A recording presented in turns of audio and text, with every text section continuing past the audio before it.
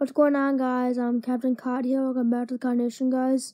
I'm going to give you guys a little update about the um the 30 subscriber vlog I'm about to do. I'm still going to do it, but the problem is I'm not going to vlog it because I'm going to need to edit it. I might have my sister um in my vlog. I don't want to. I just I don't want to spoil the vlog, but that's not going to be live. I just want to give you guys an update, but I'm going to see you guys later. And I hope you guys.